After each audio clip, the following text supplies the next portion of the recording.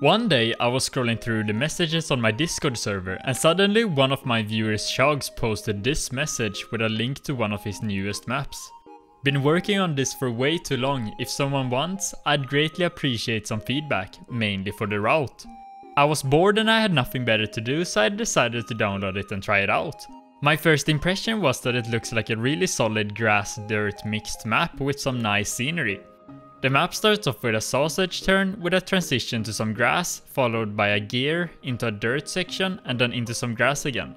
The map then continues alternating between grass and dirt like this for the rest of the map, until the end where there is a jump to the risky finish. After only a couple of minutes of playing it, I really liked what I was driving on.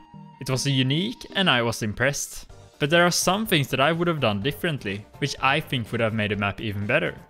Note that these things are purely subjective and none of the things that I note in the video are factual. They're just some small things that I thought about when playing the map for the first time. And of course I asked the author of the map if it was okay if I made this video. So let us start off with the route. The beginning of the map is really creative and unique. I love the sausage start and the calculated transition into the grass. However, a mistake that I did when driving it for the first time was that I was taking the inside line of the poles. Now it didn't take me more than one or two runs before I realized that the intended way was to go for an outside line, but this can have been a bit clearer. I'm pretty sure a beginner player would not have found the intended line as fast as I did if it was not just for a lucky coincidence. So if there was something that I would change, then it is the guiding details on the sausage.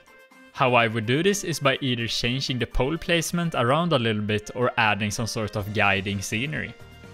An example of a map that has some good looking guiding scenery is Flatliner 7 by Slays, where he placed some trees, bushes and other items onto the road. I think that this kind of detailing would have looked good on this track, and I also think that it would have fixed the original problem that I stumbled upon. The next thing I noticed is also kind of related to poles again.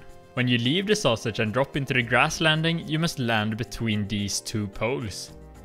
This might seem like I am nitpicking at this point, and I definitely am, but hear me out. The fastest line is to drive between these poles, right? So you're already getting punished for landing anywhere else on this block. But on top of this you're now going to get a complete stop if you jump a bit askew. And this is something that is not very uncommon in this part of the map, because the poles are barely visible from the road even in cam 1, the camera with the highest top-down visibility. I even tested this statement with some friends. In their first playthrough of the map, most of them crashed into these poles. In my other video, 5 steps to improve your Trackmania maps, I talked a bit about adding details to the route. Now why is this suddenly bad? Well, in this scenario you must aim your car precisely and when you take off into the air there's no way to change your horizontal line. On top of this, the landing is on a grass surface and grass is very slippery, so even if you take off barely to the side, there might not be a chance for you to correct your line in time, resulting in a crash. So how do we fix this? Well, the boring and bad solution would be to remove the poles. So why is this bad may you ask? Because we like details like this. A better solution would be to add small signs on top of them, and another solution would be to somehow move the poles so that you have time to correct your line after the landing. Moving further into the map, about one block to be exact, there is a cross. This cross is persistent throughout the whole map, in every grass part, so there is a clear theme going on here. These crosses consist of this pool block and a square metal support bar which are block mixed into each other. Driving on this metal surface is faster than driving on grass, so it would make sense to maximize the time you spend on these edges, right? Well, yes, but actually no. It turns out that these edges are just visuals. What you're driving on is actually penalty grass. So in this map, you will want to avoid these at all costs. Now, I don't know if this is intended or not, and I don't think it's necessarily bad, but it's something that I noticed when my car was slowing down rather than gaining speed. Something that I would also change is this grass part, where you have a little bit too much speed, so you have to do a release tap. Other than these things, there is really nothing that I can note out that I would have done differently. The route is fun to drive, and there are no annoying gears. There are some interesting turn combinations, and the grass-dirt mixed theme works really well. Leaving the route and moving on to the scenery, the grass parts are surrounded by some scenery towers, signs, hill blocks, poles, trees and these water block crosses.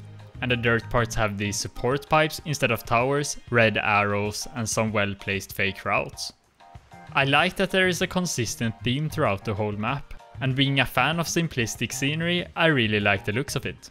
Even though there were some moments where the scenery looked a bit empty, mostly when you're facing the outside of the map where no scenery is seen. A solution to this would be to add some scenery towers that are not connected to the route, but can be seen from the field of view when playing. Something else that I would have done to spice it up a bit is adding more detail to it. An example of such detail would be mixing some other color into the map. This could be done by putting a layer of plastic wall ride blocks in different colors with these new convenient corners that were added into the Royal update. The wall ride detail is something that I saw Simo and Keissla doing in their map Riding Waves, and I thought it looked really good. Another example of detail is adding these new signs and overhead lights that you can apply to roadblocks.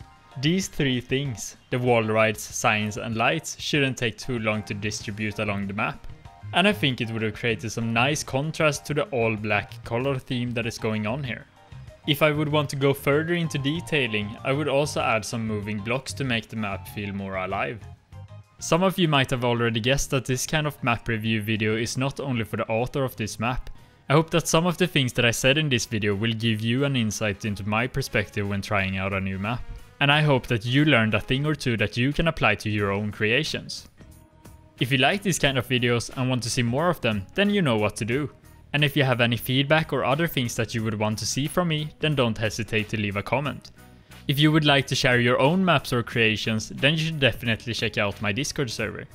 I would like to welcome all the new people that have joined in the past few days, the Discord server is now more active than ever, and it's always fun to see new names pop up. And if you want to buy me a coffee, you can do so by following the link to my Patreon in the description. And here is a bonus for you few people who stayed until the end of the video. Enjoy this magically flying finish, and see you next time.